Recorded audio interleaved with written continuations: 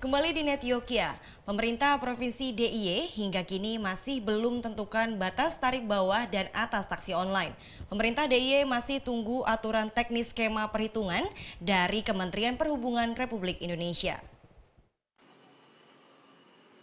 Batas tarif bawah dan atas taksi online di Yogyakarta hingga kini belum juga ditentukan.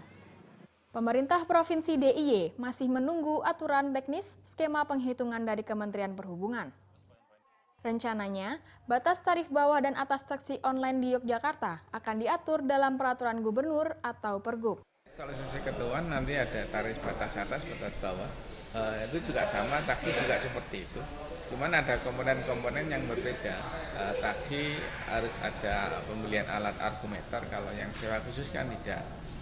Eh, komponen-komponen ini sudah kemarin sedang dibuatkan acuannya ya, sebentar lalu sudah disampaikan dari kementerian uh, tinggal untuk detailnya dan itu menjadi juknisnya kita belum dapatkan uh, tentang komponen-komponen untuk penghitungan tarif tersebut.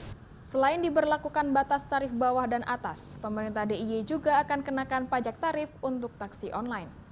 Andreas Pamungkas melaporkan untuk NET.